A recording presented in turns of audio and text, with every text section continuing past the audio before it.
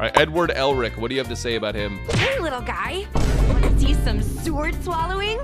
I've added some new tricks to my act. Poor Yanqing is just like getting bullied by everyone. Yeah, you're just a little guy. Hey, little guy. Guinaifen might be like the perfect Yanqing counter because she can just swallow the swords. All right, Sushang, what do you have to say about Luocha? Just focus on healing, and if you get into trouble, give me a shout. I love how reliable she is as a person who can barely hold a sword. Bruh. It is time for Yukong.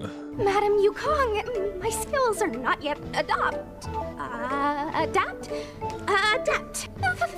To give me some advice. Wait, so Sushang in this game is actually just illiterate. It's Yan Qing. Uh, this is my chance to check out his moves up close. Oh my god, is she a fan of the little man? She's a fan of young man. That's so funny. That is cute. Huh?